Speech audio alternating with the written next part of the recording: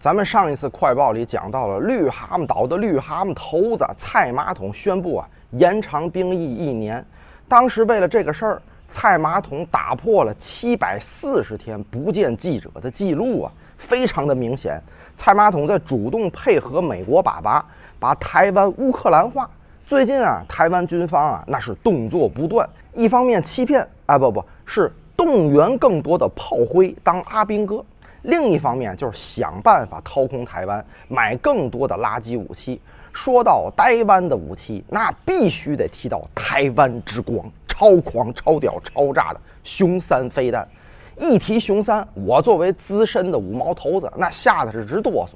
要说啊，熊三的威力，那是大鼻子他爹老鼻子了。一颗反攻大陆，两颗毁灭地球，三颗干掉太阳系，就这么超狂、超屌、超炸的玩意儿，结果竟然出大事儿了！到底发生了什么事儿呢？赶快进入今天的节目吧！大家好，我是你们的朋友磊哥。雄风三型牛叉飞弹，那可是台湾中科院开发的第一款超音速武器，据说啊有反舰能力，被称为台湾之光。台湾绿媒名嘴一提到熊三，那当时就射了。最近这几天啊，那个熊三是窝头翻个，他现了大眼了。话说啊，熊三飞弹啊，用来定位锁定敌人的，里面有个经纬仪，因为故障了，要专门送到瑞士原厂去维修。台湾方面说啊，是从瑞士莱卡公司采购的零部件，结果啊，这个维修周期特别的长，等了好长的时间。经过漫长的等待，终于收到了一个维修好的零件。一看那个快递包裹上面的单子，傻眼了，竟然是从山东青岛寄回台湾的。好家伙，超狂、超屌、超炸的熊三关键零部件，竟然辗转多次，最终送到山东青岛维修。好家伙，山东是再次牛批六六六啊！我的宝贝儿，这事儿一出啊，再次引发岛内是蛙声一片。一大堆名嘴跟专家就担忧说啊，瓦嘎里贡啊，这恐怕会影响到台湾的制空防御等军事战略问题呀。台湾官方解释啊，说这批设备啊是2021年公开招标后跟瑞士莱卡公司采购的，因为部分设备啊出现了问题，所以要求台湾的代理商送到瑞士去维修。设备维修之后啊，再送回来。台湾的中科院发现报关单上是山东青岛流亭机场送回来的，就这个事儿啊，他们去问了代理商，代理商又去问厂家，厂家说啊，这玩意儿你直接在亚洲维修中心就行了，这个亚洲维修中心就在山东青岛。台湾官方啊，一看这事儿，他没法洗了。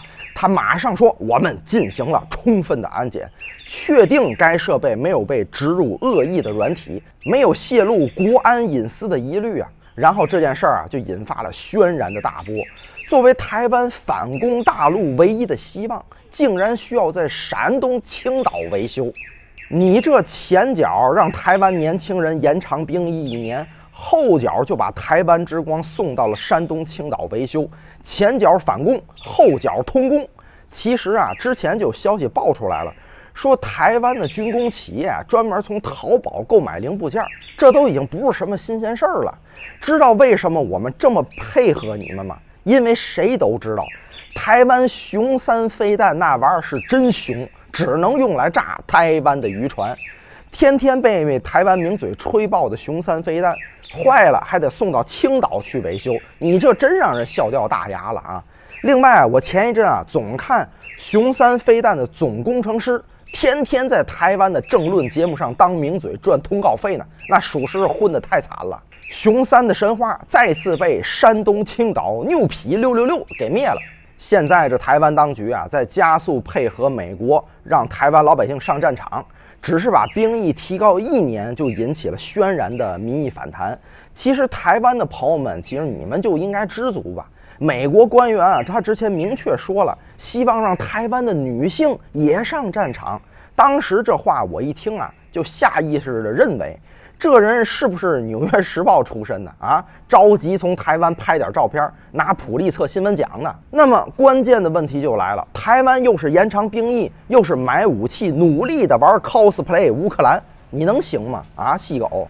其实最早啊，台湾还幻想反攻大陆的时候，就是说八十年代、九十年代初的时候，他们的兵役啊是两年，海空军啊是三年。当时台湾搞的是全义务兵役制，所有的男性他必须得服役。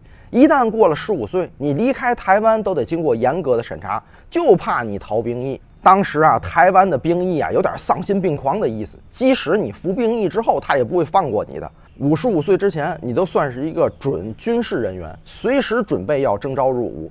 一旦违抗命令，你就是逃兵啊，最终得送你啊进牢房给捡肥皂去。九十年代之前啊，台湾号称是雄兵百万，好家伙，一百多万的黑熊勇士，这家伙你受得了吗？但是啊，那个经典的问题又来了，代价到底是什么？当时的台湾啊，常年维持着八十多万的部队，经济扛不住啊。九十年代之后啊，台湾对于反攻大陆这事儿的幻想，那是阳痿患者去红浪漫，你有那心，你也没那力了。一方面是经济上扛不住了，另一方面是强制兵役越来越不得人心。关键是所有人都清楚，你反攻大陆这事儿就属于是浑身上下就那个嘴是硬的，火化了那个嘴还在呢。就是绿蛤蟆想吃天鹅肉，你这是痴心妄想的事儿啊！当时反对兵役的声音啊就越来越大，台湾年轻人找各种理由当逃兵，而达官显贵们的子女啊那是更不愿意当兵了，只要有机会他就会逃兵役，还造成了各种丑闻不断。后来啊，台湾当局啊就不断的减少兵役的时间，二零零八年的时候把兵役缩短到十二个月，即便是这样。所有的台湾人还是非常的抵触这件事儿，根本就没有人愿意去当兵。当时民调啊，只有三成的人是愿意服兵役的。毕竟大家都清楚啊，谁愿意扫一年地、搬一年桌子、拔一年的草啊？当时啊，马娘娘为了选举，承诺当选之后啊，改募兵制，等于是要放弃强制的兵役。但是啊，这是想的是挺好的。具体操作下来，那真的是有点完犊子了。你想想，强制兵役的时候都选择当逃兵，现在改成自愿了，那谁傻疯了去当炮灰呀？这时候啊，台湾军方是严重的缺人，主战部队都已经凑不齐人了，而且超过七成的台湾士兵根本就没有达到基本的战斗标准，各种军官缺的那是更多了，要啥啥没有。一直以来啊，台湾的军方啊，那是吃啥啥没够，要啥啥没有。台湾当局一看，这年轻人都不来当兵，怎么办呢？哎，这时候他们开始动坏心眼子了。为了骗台湾的年轻人当兵，台湾当局那绝对是煞费苦心，可以说是所有的损招都想绝了。了解台湾的朋友们应该都清楚台湾当局的套路。第一招，那必定是把红浪漫的门给你打开，开始色诱你了。这一招啊，可是用了不老少年了。二零一九年的时候啊，台军呢有一个女士官。在社交媒体上贴出了一段诱人的文字，说想找个人陪我，说你愿意吗？咱正常人啊，看这个肯定是以为是什么婚恋的 APP 广告。好家伙，这竟然是台湾的征兵广告啊！我就想问一句啊，你征的是炮兵吗？啊！当时的一段时间啊，这个女士官就变成了一个小网红了。她在社交媒体上说：“哎呀，你想当阿兵哥吗？如果你年龄在二十二岁到三十二岁，又大学毕业，可以来服役一年哦。”月薪四万八千九百九十新台币哦，适合于又热爱当兵又想存钱的年轻人哟。如果你有兴趣，赶快私信我吧。你看看，在台湾，你敢在网上聊骚吗？一不注意就直接给你拉兵营当壮丁去了。好，这事受得了吗？台湾军方啊，发这种擦边球的征兵广告，他还真不是一次两次了。台军经常会找出一些女兵，让他们还穿着非常的暴露，在那儿拍影片跟广告，诱惑台湾的年轻人。难怪台军每隔一段时间就会爆出各种情色新闻，原来根子他就在这儿啊，从头就是歪的。不过呀，我就有个问题想问了，在台湾当兵啊，是去红浪漫玩制服诱惑呀，还是当兵啊？台湾这当兵也太刺激了吧！不过我觉得呀，台军的这招用的是挺好的，直接打通八大行业进兵营，各种强行的软文，各种的性暗示，告诉你啊，台军里面辣妹超级的多，任您挑选，这不就是红浪漫吗？而且更诱人的是，哎，你你选着你玩着，我们还给你高额的补贴，一个月给你四万九千多新台币，心动了吗？赶快报名吧！来了就教你唱歌啊！我有两支枪，长短不一样，长的大敌人，短的大姑娘。嘿，你看看这台军的征兵广告，人家这抓壮丁真的是有技巧。哎，说新来的妹子哟，哎，我们未来会更好哦，欢迎加入陆军哟。嘿，漂亮啊！你这绝对不是当兵去，肯定是红浪漫玩制服诱惑去的。但是即便是这样，台军依然是招不到人。毕竟台湾的年轻人他也不是大傻子呀，谁会为了泡妞去当兵啊？结果呀，把台湾军方给逼的呀！哎呦，二零一七年啊，他们出了一个奇招，咱们呀兼职当兵，你白天上班，周末咱当两天的兵，或者你上午上班，下午来当兵也行，只要你能来就行。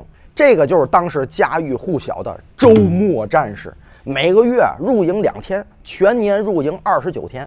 这个在世界的军事史上都是堪称奇迹、前所未闻的事儿啊！说完招人，咱们必须得再看看啊台军的军事训练了。一句话，跟闹着玩儿一样。蔡马桶当年刚上任，跑到金门看超狂、超屌、超炸的特战部队训练，结果照片一放出来，差不点被把人都给笑死。一群台湾的特战部队在游泳池里，在那儿啊，在那儿蛙泳呢，狗刨呢。怎么说你训练，而且你还是特战部队，你是特种兵啊，你得上海边训练啊，这不是把人给笑死吗？不过啊，咱们啊真的是得体谅一下台湾的阿兵哥，毕竟海边那太阳多毒啊，海水对皮肤也不好，那敏感肌都红红的哦。你看看人家陆军打靶，下面有软垫，上面有遮阳伞，游泳池的水它也是水呀。你别说啊，就这样，草莓兵偶尔去一次海滩训练，还真就出事儿了。当时啊，在高雄的海滩训练，一个橡皮艇啊，突然就发生了翻船事故，七个人落海了，四个人送医院了，最后两个人他嘎嘣就装袋儿了。而当时事发地点那个水特别深，多深呢？一点五米。你要按咱那个游泳池的标准，一点五米上面顶多给你贴个标签，提示你幼儿禁止下水。你这很危险的。那台湾草莓兵，你们算什么呢？算幼儿是吗？因为啊，台湾的部队生活它实在是太魔幻了。后来啊，台湾的兵役啊，在二零一三年降低为四个月，相当于是夏令营了。而且这四个月还有各种的新玩法。如果你读过高中、大学的，四个月给你减一个星期。另外啊，两个月的时间里啊，基本上就是基本训练，长官从来不会骂你，绝对的和蔼可亲。还有啊，在训练的时候，中间有很多休息的时间，旁边还有活动餐车的老板过来卖盒饭啊，卖卤肉饭给阿兵哥吃呢。总之啊，每个月六千新台币去做一个童子军夏令营，也挺有意思的哈。以上我说的这些种种的原因啊，就是为什么草莓兵他是草莓兵的根本原因。就这样的台湾草莓兵啊，人家保安大队长邱国正就说了：“现在我们不能完全指望美方，看见了吗？人家对草莓兵还有小期待呢。”之前有台湾的街头采访，去问台湾的年轻人：“问长官让你跟小岛共存，你怎么办？”有个台湾年轻人就说了：“我们不是来度假的吗？怎么还要共存亡啊？”说到这儿啊，我就想起来金政委对于台湾军队的评价了，就是一堆肉，它是没有意义的。这话绝对是说到头了。其实啊，台湾当局做了这么多年的训练，目的非常的简单，他是幻想着可以反登陆，主要力量集中在台湾岛的西岸，他们就想阻止解放军的登陆。这时候草莓兵啊去送死，而台湾那些狗官就从另一面开始逃跑了。毕竟什么双飞机出逃啊，云豹接人呐，都练了好几年了。本来蔡马桶的想法是解放军从福建起飞到台北，他们认为会有很长的时间。结果现在每天解放军训练，蔡马桶也知道了，原来解放军六分钟就能到达他们的脑袋顶上了。而上次佩洛西窜访台湾的时候，什么海峡中线啊都给你干穿了，已经完全不存在了。解放军是想什么时候来就什么时候来，想怎么来就怎么来，来几次来多少回都是我们定的。台湾方面你只能忍着。其实对于美国来说啊，他们压根儿对台湾军方啊就是心里没点逼数。但是他们对于台湾部队的定位非常的精准，就是消耗品。现在美军卖台湾的武器基本上都是单兵装备了，就是想让草莓兵啊去打巷战，制造大量的伤亡。这心啊，真的是太脏了，真的是不拿台湾人当人啊。不过现在啊，说什么也没有用了。二零二四年台湾的兵役啊就要延长一年了。蔡马桶当时明确的说，台湾要备战，反正他到时候肯定就逃跑了，才不会管什么台湾老百姓呢。另外，对于草莓兵想跟解放军打巷战这个事儿啊，我觉得他绝对是想多了。解放军在历史上有一句话：“穷则战术穿插，富则万炮齐鸣。”当年打越南自卫反击战的时候，当时对方啊就想跟咱们打巷战，解放军怎么做的？亮山战役，我们二十六天打了一百多万发炮弹，亮山被炸的就剩两根电线杆了。你打巷战，那不笑话吗？啊，谁有那闲工夫冒那危险去？所以，对于美国跟台湾当局打算跟解放军打巷战这个事儿，大家就把心放肚子里，根本就不会给他们打巷战的机会。而且现在也不是当年的时候了，现在什么都有。各种什么机器人、无人机打巷战，你拿什么跟我们打呢？啊！所以台湾延长兵役一年这个事儿，除了美国人感觉很高兴以外，没有任何的作用。解放军压根儿就不会给他们机会。别管你是想跑路还是想打巷战，你也只能是停留在在脑子里面想想这个阶段了。我是觉得呀，台湾的阿兵哥们，你们应该好好的琢磨一下，好好的思考一下。你为美国、为台独、为菜马桶丢掉小命儿，你觉得值不值这事儿？没事儿，你好好想想吧。啊，好了，以上就是本期的全部内容了，别忘给磊哥点个赞，感谢您收看，咱们下期再见，拜拜。